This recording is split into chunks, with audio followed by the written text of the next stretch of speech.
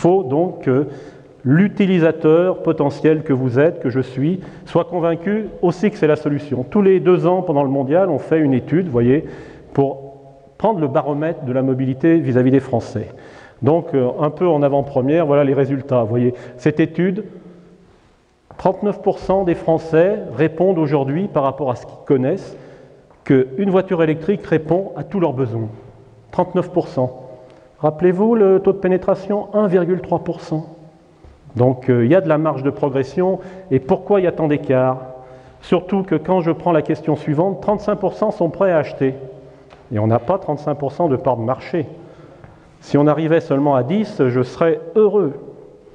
Donc après, on leur a posé des tas de questions, mais ce qu'il faut retenir, c'est ça. Quels sont finalement les freins pour vous? Ben, Pour vous, l'autonomie. Il faut que ça soit supérieur à 300 km. On y est? Je ne comprends pas. Alors pourquoi vous achetez pas? Après, c'est le coût d'achat, comme on vous l'a démontré. Le TCO, euh, ben, c'est pratiquement le même avec les 6 000 euros plus les 2 500. Je suis au même prix. Mais par contre, l'acheteur lambda, lui, regarde le prix d'achat, il dit Ah oui, mais ça me fait un crédit cher. Donc il y a toute une éducation, toute une formation. Et c'est ce qu'on essaye de faire au niveau de l'association. Et puis, le dernier point, et c'est celui qui blesse le plus pour moi. Autant je sais expliciter les autres, autant le dernier, j'ai du mal. J'ai du mal parce qu'on voit l'interopérabilité, c'est la croix et la bannière. Moi qui suis aussi utilisateur de véhicules électriques, pour me recharger quand je fais de l'itinérance, c'est un peu l'aventure. Ça reste l'aventure aujourd'hui.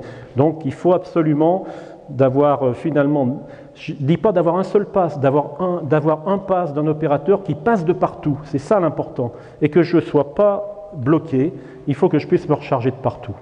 Donc vous voyez, on est encore au début de euh, cette euh, mutation. Même si industriellement on est fait, on est prêt, ça a été fait, il faut maintenant passer à l'acte d'achat.